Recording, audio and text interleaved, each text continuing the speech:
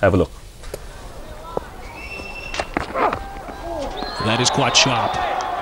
You might have heard the grunt also from Shane Bond through the uh, stump microphones. 143 k's per hour, second ball of the innings.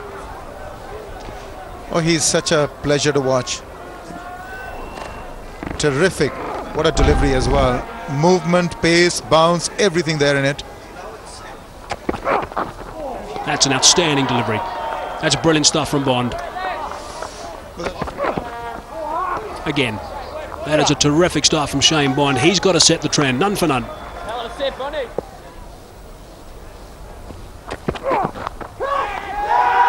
There was a noise and he's gone. It's a bit of a strangle in the end. Sourav Ganguly considered himself just a fraction unfortunate, I would imagine. He spotted the one before, faced a very good over from Bond, so obviously a little bit agitated. And in the end, leg side and a good catch by McCullum.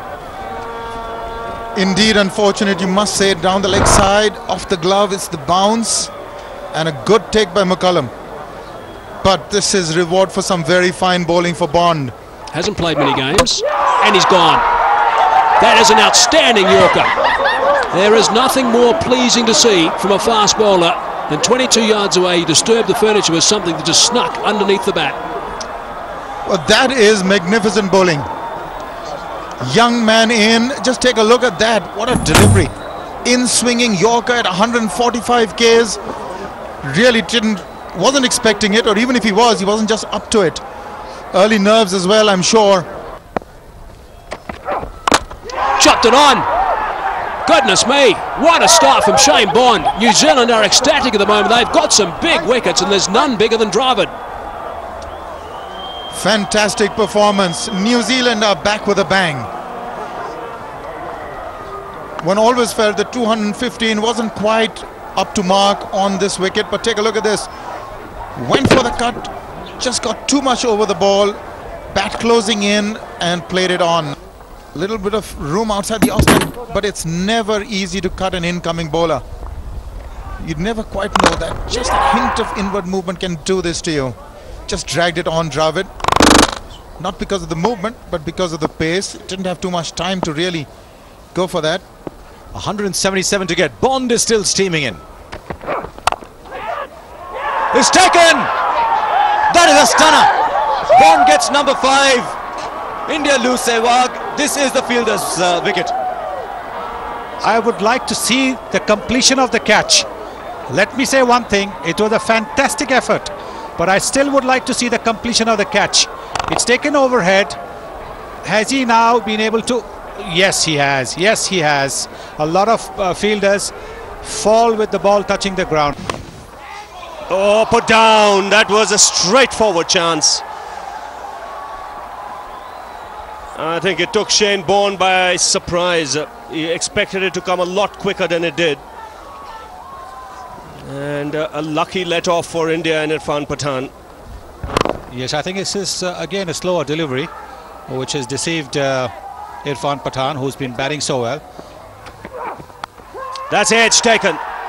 Now, Sunny Gavaskar was mentioning just a little while earlier that just give respect to the bowler who's taken five wickets. This was the last ball of Bond's ninth over. Pathan went after it and paid the price. It was wide, could have been left alone. In the end, an outside edge and a simple catch to McCullum. So a fighting innings comes to an end. Six for 19, Shane Bond. I tell you what, I watched that game. That was fast and furious. Uh, he decimated India, six wickets in a one-day game and happening so quickly. It was a terrific effort. Now, genuine fast bowler, nice and strong, lovely action, nice clean action, and is always around the 140, 145 uh, mark almost every ball. And then I think uh, Shane Bond, the quality he has is he gets wickets with a new ball. You see, people say new ball is easy to bowl. I, I differ. Me and Waqar always thought new ball was difficult for us to, to bowl because it's difficult to control uh, the swing. We eventually learned, but he bowls new ball to, to, to perfection. He bowls away swingers, then he bowls in swingers to a left-hander. He's got the Yorker going, and he's quick and beautiful action rhythmic close to the wicket and he uses the crease as much And when you use a crease at, a, at your early age of your career, it means, you know, there are two different things as a bowler. Using a crease means if it's swinging, you can go wide of the crease and bowl away swinger to a right hander. If it's not swinging, don't try that because it's going to get hit for four because of the angle.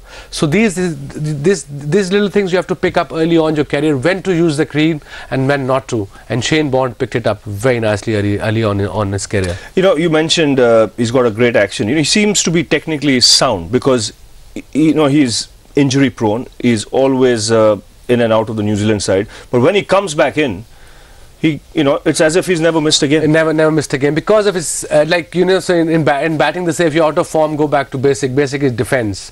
Defend. If you don't have a good defensive uh, system as a batsman, you would never last long.